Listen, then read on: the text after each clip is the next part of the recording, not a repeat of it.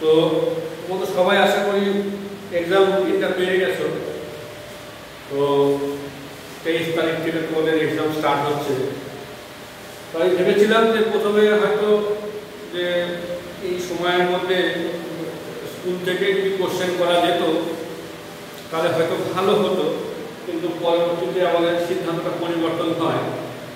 তো তাতে করে সিলেবাস অনুযায়ী তোমাদের একটা চ্যাপ্টারই বাকি আছে আজকে সেই চ্যাপ্টারটা তোমাদেরকে বুঝিয়ে দিই চ্যাপ্টারটার নাম হচ্ছে, মানুষকে নিষ্ঠুর হলে চলবে না।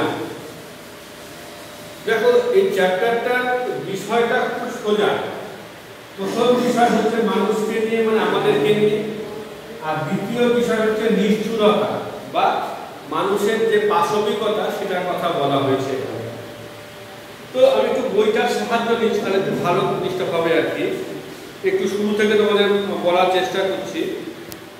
বলছে, মানুষ কেবল নিজের কথাটাই ভাবে। আর এই নিজের কথা ভাবতে ভাবতে গিয়ে মানুষ কিন্তু না হত্যালীলায় মেতে উঠেছে।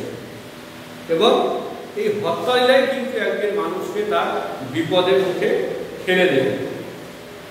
যে তোমরা হয়তো সকলেই শুনেছ হয়তো ইলিশ তোপসে এদের নাম শুনেছ? যেমন ইলিশ মাছ গঙ্গা ব্রহ্মপুত্রের মোহনার কাছে অগভীর সমুদ্রে থাকে। এবং যখন বর্ষার সময় যখন উজান হয়, তখন সেগুলো নদীর ভেতরে প্রবেশ করে মিষ্টি জলে পাওয়ার আশায় সেখানে প্রবেশ করে এবং সেখানেই ডিম পাড়া পর্যন্ত সেখানে থাকতে চায়। তো এবার সেচের কাজে যখন নদীর জল যখন শুকিয়ে যায় তখন কি হয়, সেই সমুদ্রের জল নদীর অভ্যন্তরে ঢুকে কিনা একটা খাড়ি তৈরি করছে। এতে করে মোহনার কাছাকাছি নদীর যে জল, সেটা লবণাক্ত হয়ে উঠছে। ফলে এসব জায়গায় মিষ্টি জলের একটা সংকট দেখা দিচ্ছে। তো এতে গেল বইয়ের ভাষা। এরকম দেখো, বিভিন্নভাবে এরকম অনেক উদাহরণ এখানে দেখানো হয়েছে।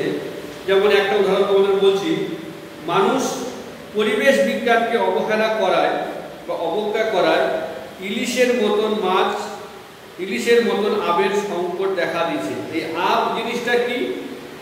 বলছে আবের ফলন বাড়ানোর জন্য মানুষকে কৃত্রিম ব্যবস্থা নেওয়ায় আবের নিয়মও ভেঙে যাচ্ছে। আবের প্রকৃতির নিয়ম বলতে পারো। ছোটবেলায় আমরা শুনতু আমের ধান, তেঁতুলের বন কিন্তু আজকাল কিন্তু এরকম ঘটনা শোনা যায় না।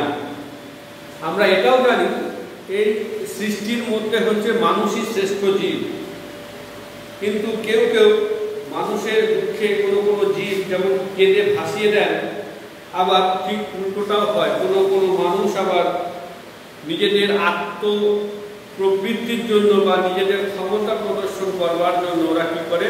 নিরীহ পশুদেরকে হত্যা করে তার মাহাত্ম দেখায় তো প্রত্যেকেরই কিন্তু বেঁচে থাকার অধিকার আছে।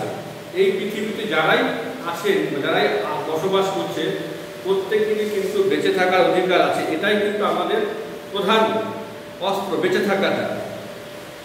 তো আমরা অনেক ক্ষেত্রে দেখেছি যে ভাগারে ভাগারে বলতে যেখানে হচ্ছে মৃত পশুদেরকে ফেলে রাখা হয় সেই ভাগারে মৃত গরু ফেলে গেলে শকুন তার মাংস খায়।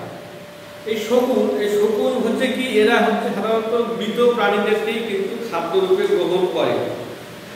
হুম, এই শকুন কখনো কিন্তু জীবিত গরু বা ছাগল খায় না, খাবে কখন না, মৃত অবস্থায় খাবে। আবার কজন বন্ধু ভাগাড়ের দিকে গিয়ে দেখি একটা রোগাগ্রস্ত পুরো গরু চলতে চলতে মাটিতে পড়ে গেল। আমরা গোবদ্দিকে খবর দিলাম মানে গরুর ডাক্তারকে, যেটাকে আমরা বলছি ভেটেনারি ডাক্তারকে খবর দিলাম। তো এসে পরীক্ষা করে বললেন যে এই গরুটিকে আর বাঁচানো যাবে না। কিছুক্ষণ পর গরুটি মরে গেল। কিন্তু আমার নজরে পড়ল, গরুটা ন্যাজ তখনও একটু একটু করে যেন মরে যাচ্ছে। যতক্ষণ এই ন্যাজ নড়ছিল, ততক্ষণ কিন্তু শকুন তার মাংস খেতে আসলো না। পরে শুনি বন্ধুর মুখে যে ঘন্টাখানেক পর শকুনিরা তার মাংস খেতে নেমেছিল। তার মানে কি জানলাম? যে এই শকুন, এরা কিন্তু জীবিত গরু বা ছাগলের মাংস খান না, খায় না। যখন তারা মারা যায় বা কেউ হত্যা করে ফেলে, তখন তাদের মাংস তারা খাদ্যরূপে গ্রহণ করে। তো পরিবেশ বিজ্ঞানকে মানুষ এইভাবে সংকীর্ণ স্বার্থে উপেক্ষা করে চলেছে মানে নিজের স্বার্থে আর আমাদের ভুলে গেলে চলবে না যে আকাশ, বাতাস, পাহাড়, বন, নদী, কীট, পতঙ্গ, মাছ, পশু, পাখি, সবাইকার সঙ্গে কিন্তু আমাদের একটা অবিচ্ছেদ্য সম্পর্ক রয়েছে। ডাইরেক্ট না হলেও ইনডাইরেক্ট একটা কানেকশন রয়েছে। কাউকে বাদ দিয়ে কিন্তু কেউ টিকে থাকতে পারে না। অর্থাৎ each of them are interlink অর্থাৎ আমরা প্রত্যেকে একে অপরের সঙ্গে কি সম্পর্কযুক্ত? অর্থাৎ আমি যদি বলি যে আমি একা একা পৃথিবীতে বেঁচে থাকতে পারব, তাহলে আমার মতন বোকা আর দ্বিতীয় কেউ নেই। কেন? কেউ একা একা পারে না বেঁচে থাকবে কারও না কারও সাহায্যের প্রয়োজন হয়। তাই এখন থেকে আমাদের এই নির্বুদ্ধিতা সহ্য করা উচিত নয় এটা আমাদের খেয়াল রাখতে হবে যে আমরা যে বোকার মতন যে সমস্ত কাজগুলো করে চলেছি, সেগুলো যেন আমরা বন্ধ করতে পারি।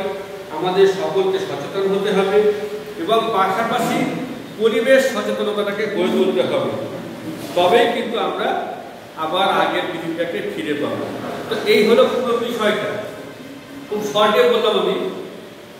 তো আর তো পরীক্ষার আগে ক্লাস হবে না। তো তোমরা একটু কষ্ট করে প্রশ্নগুলো করে নেবে। আর আমি যদি সম্ভব হয় তো আমি কালকে তোমাদের কোশ্চেনগুলো দিয়ে দিতে পারি। হুম? তো আজকের মতন এটুকু থাকল। সবাই ভালো থাকবে, সুস্থ থাকবে এবং পরীক্ষাগুলো খুব ভালো করে দেবে। নমস্কার।